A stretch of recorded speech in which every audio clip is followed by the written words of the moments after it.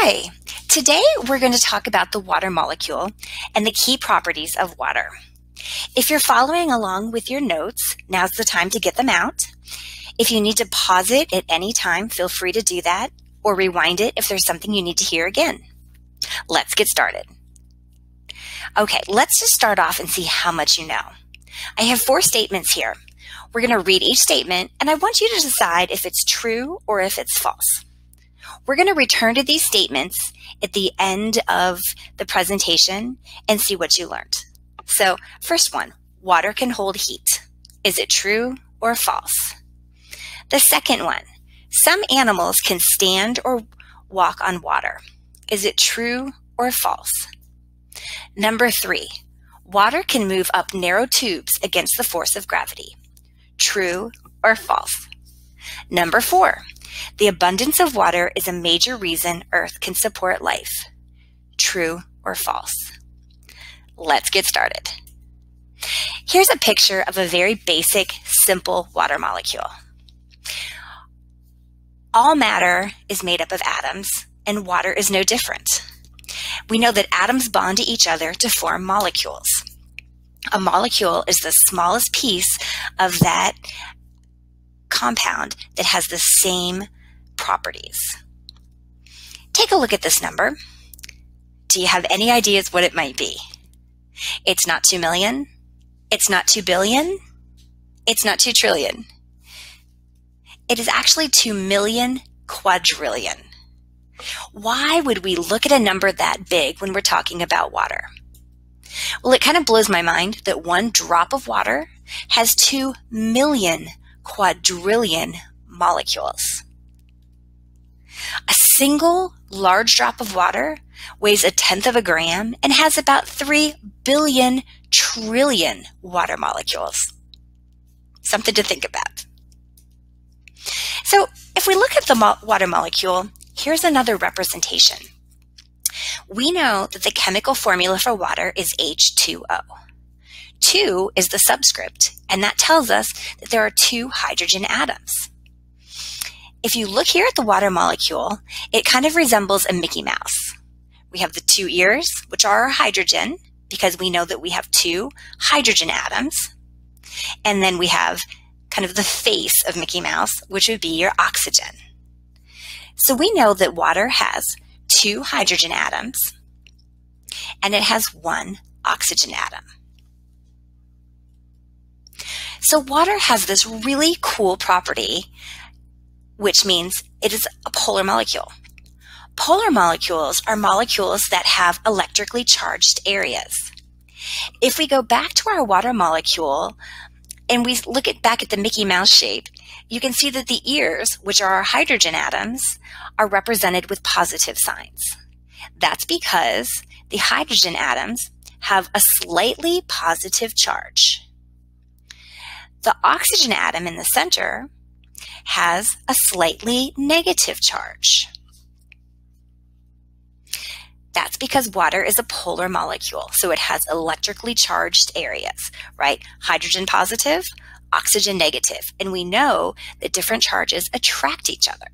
Think about a battery, right? When you connect them, you connect the positive end to the negative end, right?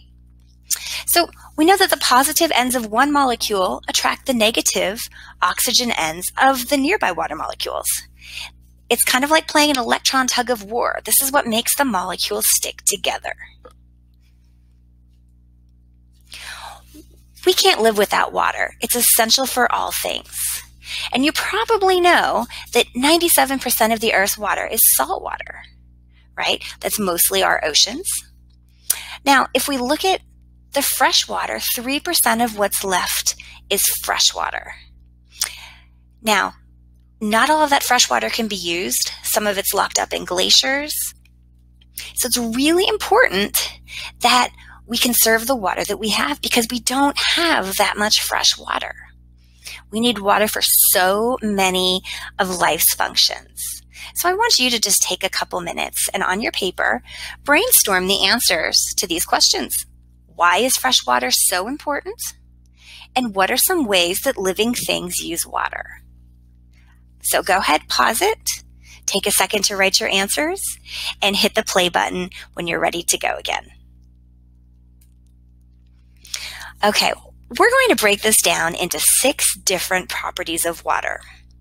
Cohesion, adhesion, capillary action, surface tension, universal solvent, and specific heat. Let's start off with cohesion and adhesion. Cohesion. Just take a second and look at the word cohesion. If you have your note sheet, go ahead and circle the co. Co is usually two things working together. So co-pilots, right? We have two pilots in the cockpit of a plane. Co-worker, two workers sticking together.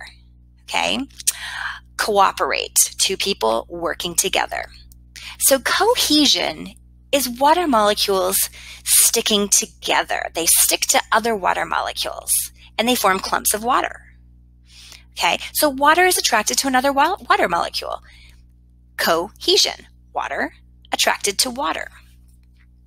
Now, if you look at this, this image down here, you'll notice that the positive end is going to be attracted to the negative end. Adhesion is really like the opposite. Adhesion is water molecules that are attracted to molecules of other materials. So adhesion might be, for example, water sticking to a leaf, water sticking to a flower, water sticking to the window, Okay, cohesion is water droplets sticking to water droplets. So, for example, if you've ever looked at the stream of water coming out of your shower or the stream of water coming out of your sink, those water molecules are sticking together in that stream. That is an example of cohesion. Okay, let's take a second and move on. Here's a really cool activity at the bottom that you can try at home. I'd love to do it in the classroom. So if you take a look down here, you'll notice that there are seven cups. What I would do is I would fill the first cup, the third cup, the fifth cup, and the seventh cup with the primary colors. And then leave the three middle cups empty. Take a paper towel and connect the paper towel from the first cup to the second cup, and from the second to the third, and the third to the fourth, and so on and watch and see what happens. If you wait a couple hours, you'll notice that eventually the water that's in those full cups is starting to actually move up the paper towel and move into the empty cup. And you'll notice that the colors tend to mix because we're mixing red and yellow and we're getting orange, or we're mixing blue and yellow and getting green, and so on. A great example of capillary action. Okay, capillary action is that combined force of attraction among water molecules with molecules of a surrounding material. So that water molecule is attracted and being attracted to the paper towels, and that force is causing it to move. So there's a lot of cool examples of capillary action that we never really probably think about. If you take a second and you would put a straw, a clear straw, inside a liquid, you'll notice that the, that the liquid is not even with the, the liquid inside the straw is not even with the liquid outside of the straw. The actual straw is a little bit higher. That's because capillary action actually forces that water up the straw a little bit. If you buy Under Armour clothing or Nike Dri-FIT, any of those athletic clothings that are supposed to wick the sweat away from you, this works because of the principle of capillary action. Plants taking in water is another example of capillary action. That water moves through the roots and up the stem.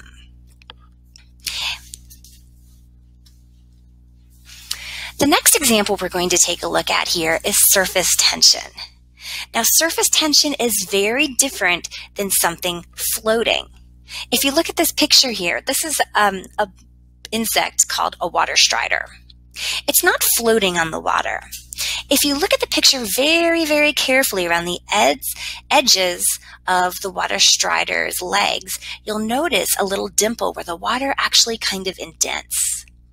Because water is cohesive and is attracted to each other, it, on the surface of the water, it causes a tightness because of these polar molecules that pull on each other. And because of this tightness, that's what's called surface tension. Surface, it happens on the surface of the water. Tension means tightness. So it's almost like there's this thin skin of water molecules that this water strider is kind of pushing on. Now, if you took a drop of a piece of wax paper at your house and placed a drop of water onto it and took a second to look closely at the drop, you'll notice it actually is a spherical shape. It's not flat. So think about what might be happening here. And if you have some wax paper in your kitchen, go ahead and pause this, take a second, and just put a drop of water on it. Well, you'll notice that the water is a spherical shape it's not attracted to the wax paper. There's no adhesion between the molecules in the drop. So it causes the water to pull itself into a shape with the smallest amount of surface area, and that's what's making that bead shape or that sphere shape. All of the water molecules on the surface of the bead are holding each other together and creating that surface tension. Um, surface tension is what causes raindrops to beat on a windshield, right? If you sprinkle pepper in your soup, the pepper doesn't float on top of the soup, but it's actually the surface tension that keeps the pepper sitting on that top skin because the polar molecules are pulling on each other. So let's take a look at some examples here. Water strider, like we just looked at in the picture, raindrops beating on a window. Bubbles in water are another example of surface tension. And I'm sure everyone has done a belly flop at one time or another. It really hurts. That's because when your body hits the water, that tightness across the surface of the water caused by those polar molecules is what hits and smacks and causes that belly flop to really, really hurt. Now, water also has another cool property, and it's called the universal solvent.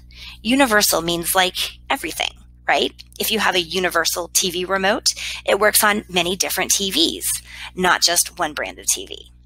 So water dissolves more substances than any other type of liquid. And that's why they call it the universal solvent.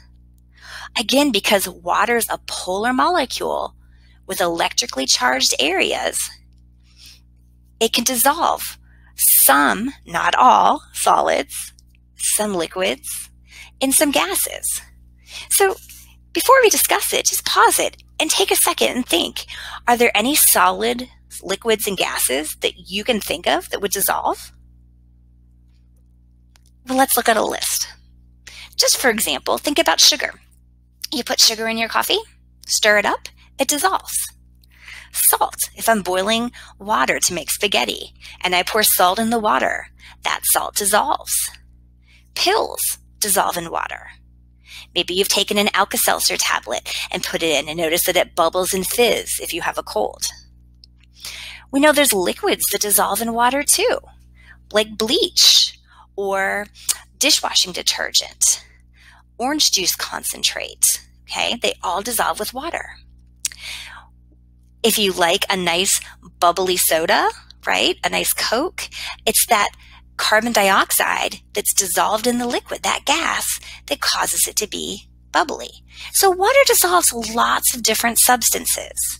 Again, not every substance, okay? Water is hydrophobic. So it doesn't dissolve oils and it doesn't dissolve fats but it's really heavily attracted to some molecules that it kind of disrupts that attractive force and dissolves it. And again, that's because water is a polar molecule. Is it possible to be able to speed up the dissolving rate of a substance? Take a second and think about what are some different things that you can do that would cause something to dissolve in water a little bit more quickly. Pause it, brainstorm, and when you think you're ready, come on back and we'll talk about them. Well, one of the very first things that you can do to make something dissolve more quickly would be to crush it. So, for example, if I had a sugar cube that was maybe one centimeter by one centimeter, that sugar cube would take longer to dissolve in water as a full sugar cube than if I crushed it into pieces. Okay, crushing it makes those particles smaller, and that means there's more surface area for that solvent to be able to touch it. We know powders dissolve faster than cubes. Another way that you could dissolve something more quickly in water would be to stir it. Okay, stirring speeds up how fast that solvent or that water touches your substance. And the last thing that helps to dissolve objects very quickly is increasing the temperature. We know hot liquids hold more solids and it speeds up the dissolving. So hot water is going to hold more sugar in it than cold water will. Let's think back to wintertime. Maybe it's wintertime right now where you live. If you take a look at this picture, this truck is dropping road salts during a snowstorm. Does that affect our environment? Think for a second how. Well, as it's dropping these road salts, they don't just disappear, right? Spring comes and those road salts are laying on the road, laying in the grass. It rains, it dissolves. Think about that runoff. Where does it go? into our rivers, maybe our lakes, maybe our streams. Okay. And the very last property of water we're going to talk about today is specific heat. Specific heat has a kind of crazy definition. It's the amount of heat needed to increase the temperature of a certain mass of a substance by one degree Celsius. What does that mean? Well, it means that water has a really, really high specific heat. And this high specific heat is why water stays cool when the weather's hot. A high specific heat keeps the water from heating up as quickly as the other materials do. So, for example, if I'm at the pool and it's a hot day, the pavement and the concrete around the pool is very hot in your bare feet the pavement might be 100 degrees. But as soon as you jump into the water, the water might be a temperature of 68 or 70. It's definitely not as hot as the pavement. It feels great when you jump in. That's because it takes a lot of energy and a lot of heat to be able to increase water. It has a very high specific heat, so it doesn't get hot nearly as quickly. Specific heat is really important. It helps to regulate our environment and it regulates those extreme temperatures in our environment. Um, keeps the water temperature from changing very quickly. This is a really good thing because think about from wintertime to summertime, it aquatic animals are able to adapt very slowly to changes in the temperature throughout the year right? It doesn't just go from being 80 degree water to 40 degree water. Things would die. Okay. So it's really important about helping animals to adapt slowly. Another really cool thing about specific heat is it land that's near large bodies of water, like oceans or large lakes, have less dramatic temperature changes than areas farther inland. So, for example, if you live in a coastal area, your winters are going to be more mild your temperatures are going to be more moderate, not as extreme as if someone who lives farther inland. We know in the summer, the sun's heat warms the land a lot more quickly than the water does. And that warm land heats the air above it to a higher temperature than the air that's over the ocean. So as a result, the air is warmer inland than it is on the coast. The opposite occurs in the wintertime. Land loses heat more quickly than the water, so the air above the land is cooler. So let's take a second and just kind of go back and reflect on some of the things that we've talked about and what we've learned today. Water can hold heat, true or false. Some animals can stand or walk on water, true or false. Water can move up narrow tubes against the force of gravity, true or false. The abundance of water is a major reason Earth can support life, true or false. If you answered true to all of these questions, you're absolutely correct and you get an A plus for today.